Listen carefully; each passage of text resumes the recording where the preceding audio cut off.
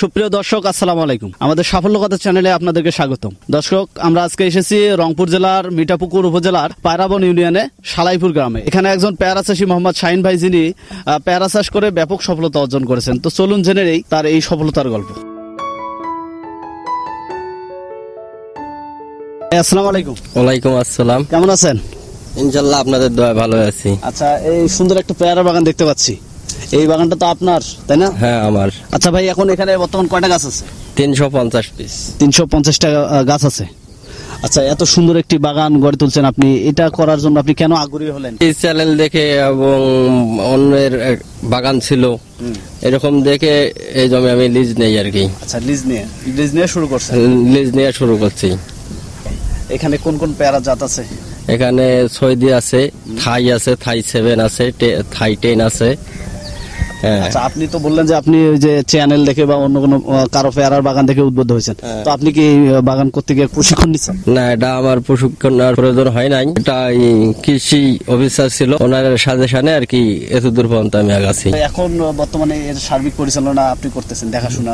সব কিছু আমাকে করা লাগে। পেয়ারা গাছের কি কি পরিচর্যা করতে হয়? যেমন পেয়ারা প্যাকেটিং করা লাগে গোড়া পরিষ্কার করা লাগে গাছের গোড়ায় ময়লা রাখা যাবে না। তারপরে সময় মতো স্প্রে করা লাগবে। সার নিয়মিত দেওয়া লাগবে। আচ্ছা ভাই আপনি সুন্দর একটি পেয়ারার বাগান গড়ে তুলছেন। তো সেক্ষেত্রে তো আপনার অবশ্যই এই বিষয়ে আগে থেকে অনেক কিছু জানতে হয়েছে। আপনি বললেন যে বিভিন্ন অফিসার এবং চ্যানেল এগুলো থেকে উদ্বুদ্ধ হয়ে আপনি পেয়ারা খাবার শুরু করছেন। তো শুরুর দিকে যদি আসি যে এই পেয়ারাটা কীভাবে রোপণ করতে হয় পেয়ারা চারা এই বিষয়ে আপনি? পেয়ারার চারা রোপণ করবেন যে যেমন এই যে কলম করা আছে এই কলম নিয়ে যা- রোপণ করতে পারেন। আর বিচি থেকে চারা করতে যান। তাই আমার সময় লাগতেছে বেশি। কিন্তু আমি কলম থেকে চারা লাগাই। আমার সময় লাগতেছে ছয় মাস। ছয় মাসের ভিতরে আমি ওখান থেকে পেয়ারা পাবো। চারাটা হচ্ছে রোপণের জন্য কোনো সার দিতে হয় না? সার দেওয়া লাগবে। প্রতি গাছের গোড়ায় তোমার চুন চুন দেওয়া লাগবে গোবর সার দেওয়া লাগবে কেঁচো সার দেওয়া লাগে আর পঞ্চাশ গ্রামের মতো পটাশ দিলেই হয় কি। আচ্ছা ভাই এই যে সারের কথা বললেন আপনি গোবর সার কেঁচো সার এবং চুন এগুলো হচ্ছে গতর মতো কতদিন? আর গর্তর পরিমাণ হচ্ছে নিচ পাশে দুই ফিট দুই সাইডে স্কোয়ার স্কোয়ার চার সাইডে আর কি দুই ফিট করে গর্ত করা লাগবে। গর্ত করা মাটির সাথে সারটা ভালোভাবে মিক্স মিশ্রয় করিয়া গর্তটা ভরাট করা লাগবে। এই গাছ রোপণ থেকে ফল আসা আগ পর্যন্ত কি কি পরিচর্যা করতে হবে? ফল আসার আগ পর্যন্ত আর কোনো পরিচর্যা হবে না। আমি জানতে চাচ্ছিলাম যে আপনি যে চারা রোপণ করলেন ফল আসার আগ পর্যন্ত কোন কোন পোকা আক্রমণ জাপ পোকা। জাপ পোকা। হুম। এটা কোথায়? আক্রমণ করে। পাতায় আক্রমণ করে গাছের ট্যাকে। পাতার নিচে। হ্যাঁ পাতার নিচে পেয়ারায় বিভিন্ন জায়গায় ওর আক্রমণ। আচ্ছা। ও গোটাল গাছের গোটা গাছের রস সম্পূর্ণভাবে চুষে নেয় এবং গাছটা মারাও যেতে পারে। আচ্ছা এইরকম হলে আপনি কি ব্যবস্থা গ্রহণ করেন? ও যেমন আমার এই ডালটায় জাপ পোকা আছে সাদা মাছি আছে। হ্যাঁ সাদা মাছিটা তত ধরনের ক্ষতি করে না। আর জাপ পোকা যদি থাকে আমি এই ট্যাগটা ভেঙে দিই। আচ্ছা। ভেঙে দিই। যদি ও স্প্রে করিও আমার কাজ না হয় তখন আমি গাছটার ট্যাগটা ভেঙে দেই। ভাই আমরা জানলাম আপনার হচ্ছে গাছ রোপণ থেকে শুরু করে ফল আসার আগ পর্যন্ত একটা পরিচর্যার বিষয় জানলাম। আপনার এই যে গাছে ফল আসার এখন যে ফল আসতেছে এখন ফল আসা থেকে ফল পরিপক্ক অবস্থায় আপনি কি কি পরিচর্যা করতেছেন এই বিষয়টা এখন নিয়মিত স্প্রে করা লাগবে। যেমন ফুল আসছে নিয়মিত স্প্রে করব গুটি হবে প্যাকেটিং হবে তারপর পরিপূর্ণ হওয়ার পরে বিক্রি করে দেবো। আচ্ছা ভাই আপনি ব্যাগিং এর কথা বলছিলেন ফলগুলোকে প্যাকেট করতে হয় এটা কেন করতে হয়? এগ- এগুলা করা হয় মালে যেন কোনো ধরনের স্পট না পড়ে। আচ্ছা। স্পট পড়লে কাস্টমার খাবে না এই কারণে আমরা ব্যাগিং করি। আর বেগিং না করলে পোকা ধরার সম্ভাবনা বেশি থাকে। আচ্ছা, পেয়ারা গাছে আর অন্য কোনো রোগ ব্যাধি? আর কোনো রোগ ব্যাধি থাকে না এই শুধু সাদা মাছি আর ছিদ্রকারী পোকা। আচ্ছা আমরা দেখতেছি আপনার এই বাগানের উপর দিয়ে একটা হচ্ছে নেট দেওয়া আছে। এটা দেওয়া আছে কেন? এটা দেওয়া আছে পাখি যেন কোনো ফলের ভেতর আক্রমণ করতে না পারে। যখন পরিপক্ক হবে এই সেক্ষেত্রে আপনার ফলে যেন কোনো ধরনের পাখির আক্রমণ না হয় সেই জন্য আর কি এই নেটটা দেওয়া। নেটটা দেওয়া হয়। ভাই আমরা পরিচর্যার বিষয়ে জানলাম। এখন যদি জানতে চাই যে এখন এই বাগানে হচ্ছে কি রকম আপনার ফল আসতেছে? ফল মোটামুটি আনসিজন তো আনসিজনে প্রতি গাছ থেকে প্রায় এক মনের মতন মাল আসে আমার। গাছ থেকে এক মতন এক মনের মতো মাল আসে। জি। আর সিজন টাইমে কি রকম ফল সিজন টাইমে দেড় মন। দেড় মন মাল হবে। আচ্ছা। এইটা যে সিজন এখন যে চলছে সেটা কি আনসিজন আনসিজন আচ্ছা। আপনি আনসিজন এবং সিজন মিলে হচ্ছে আড়াই মনের মতো ফলের কথা বললেন। তো এই ফলগুলো হচ্ছে কীভাবে বাজারজাতকরণ করতেছেন? যখন মালের চাহিদা কোথাও থাকে না তখন ব্যাপারী নিজে আসে। আর সিজন টাইমে আমাকে যা দিয়ে আসা লাগে ওদের কাছে। হ্যাঁ। আচ্ছা প্রতি কেজি পেয়ারা এখন কত টাকা বিক্রি করতেছে এখন প্রতি কেজি পেয়ারা খুচরা বিক্রি হয় একশো থেকে একশো বিশ আর পাইকারি বিক্রি হয় ব্যাপারীর কাছে।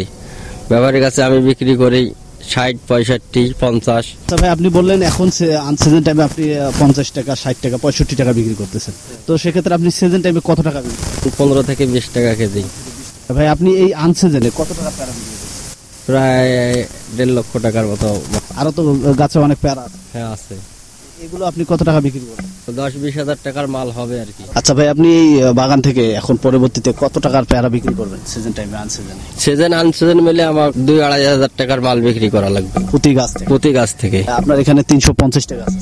জি তিনশো পঞ্চাশ টাকা আছে। এই তিনশো পঞ্চাশটা গাছ থেকে বছরে কত টাকা ফল? বছরে চার থেকে পাঁচ লক্ষ টাকা হবে আর কি। চার থেকে পাঁচ লক্ষ টাকার ফল বিক্রি করেন আপনার এই বাগান পুরা তিনশো পঞ্চাশটা গাছের পরিচর্যা এবং সব মিলে আপনার খরচ কত? দুই আড়াই লক্ষ টাকার মতো খরচ হবে। দুই থেকে আড়াই লক্ষ টাকার খরচ যায় লাভ আসবে কত? পাঁচ লাখ টাকা যদি আমি মাল বিক্রি করি আড়াই লাখ টাকা খরচ হইলে আমার আড়াই লক্ষ টাকা থাকতেছে। এই বাগানটা হচ্ছে আপনি সার্বিক সব ধরনের পরিচর্যা করতেছেন। এখানে আমি আরও কিছু জিনিস যেটা লক্ষ্য করলাম সেটা হচ্ছে সাথী ফসল হিসাবে আপনার বেগুন আছে মরিচ আছে মিষ্টি কুমড়া দেখলাম এবং লিচুর কিছু গাছ দেখলাম পাশে আবার নারকেলের গাছ। এগুলো থেকে আপনার বার্ষিক কত টাকার ইনকাম হচ্ছে। এগুলা থেকে বাসরে আমার দুই লক্ষ টাকার মতন ইনকাম হয়। এটা তো আপনার হচ্ছে বাগান করা বাগানের পাশাপাশি হচ্ছে। বাগা- বাগা- বাগানের পাশাপাশি এটা আমার বাড়তি লাভ হয় হয়। সেক্ষেত্রে আপনার বছর শেষে সাড়ে চার লাখ টাকা জি। আচ্ছা ভাই আপনি বললেন যে এখানে হচ্ছে দুই লক্ষ টাকার আপনি সাথী ফসল যেগুলো আছে লিচু ডাব মরিচ বেগুন এগুলো থেকে বিক্রি করতেছেন। এটা এটা কোন কোন পারপোজে যেমন লেচির গাছ আছে লেচি গাছ বৎসরে এক লক্ষ টাকা আসে। কয়টা গাছ আছে একশোটা। আর এক লক্ষ টাকা কোথা থেকে আসে? আর এক লক্ষ টাকা আমার সাথী ফসল বেগুন আছে মিষ্টি কুমড়া আছে পানি কুমড়া আছে আচ্ছা। কাঁচামরিচ আছে ডাব আছে। ডাবের গাছ কয়টা আছে? ডাবের গাছ আছে দশটা। দশটা ডাবের গাছ। জি। এগুলো কি ডাব অবস্থা থেকে বিক্রি করে? হ্যাঁ ডাব অবস্থা থেকে বিক্রি করি। আচ্ছা ভাই আমরা জাতের যদি বিষয় আসি সেক্ষেত্রে আপনার এখানে চারটে জাত আছে। এই বাজারজাতকরণের ক্ষেত্রে আপনার কোন জাতের পেয়ারার সব থেকে বাজারের চাহিদা বেশি? বাজারে চাহিদা বেশি সৈদি এই পেয়ারাটা কেমন? এই পেয়ারা খাইতে সুস্বাদু ভেতরে লাল হবে। এবং অন্যান্য যে জাতগুলো আছে এগুলো কি রকম সাইজের হয় পেয়ারা? এগুলা সাতশো আটশো গ্রামের কাছাকাছি যাবে এবং যেটা থাই টেন ওটা এক এক থেকে দেড়শো গ্রাম হবে। আপনার বাগানে আমি আরও একটা জিনিস লক্ষ্য করতেছি যে কলম করছেন আপনি? এই কলম যে এখান থেকে চারাগুলো হবে এগুলো কি বাগানে লাগানো হবে না এগুলো কি আপনি বাজারজাত এগুলা এখানে কলম করা আছে আমার প্রায় পাঁচ হাজারের মতো। আচ্ছা। তা পাঁচ হাজার গাছ আমার এখানে লাগবে না। আমার গাছ লাগবে সাড়ে তিনশো। আচ্ছা। হ্যাঁ সাড়ে তিনশো রেখে আমি বাদ বাকি গাছ বিক্রি করে দেবো। এটা যখন বিক্রি করবেন এটা একটা চারার দাম কত হবে? একটা করে চারার মূল্য হবে যদি কেউ পাইকারি নেওয়া যায় তখন মূল্য হবে পঁচিশ থেকে তিরিশ টাকা। আচ্ছা ভাই আপনি এই যে কলমগুলো বললেন যে তিনশো পঞ্চাশটা সারা এই গাছে বাগানে লাগাবেন এবং আপনি নিজের কাজে ব্যবহার করবেন এটা কোথায় কোথায় লাগাবেন এটা একটু বলুন। এখানে দেখা যাচ্ছে যে অনেক জায়গায় গ্যাপ আছে আমার। হ্যাঁ গ্যাপগুলা কিছু চারা লাগাবো। যা যা বাদ বাকি চারা থাকবে এগুলা অন্য জমিতে লাগাবো। আমরা আরেকটি বিষয় আপনার কাছে জানতে চাই যে আপনি এই বাগানে হচ্ছে সচরাচর দুই দুই মৌসুমে পেয়ারা কম হয়। কিন্তু আপনার বাগানে হচ্ছে পেয়ারা দুই মৌসুমেই সচরাচর হচ্ছে এবং আপনি এখান থেকে একটা ভালো মোটা অঙ্কের লাভবান হচ্ছেন। এই বিষয়টা বলেন যে কীভাবে আপনার এটা আপনি কোনো পদ্ধতি আপনি অবলম্বন করতেছেন কিনা?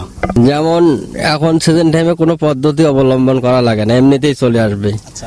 আর আনসিজনিক ভাবে যদি ফল নিতে চাই তাহলে আমাকে সিজন টাইমে একটা ভালোটা কেটে দেওয়া লাগবে। আচ্ছা।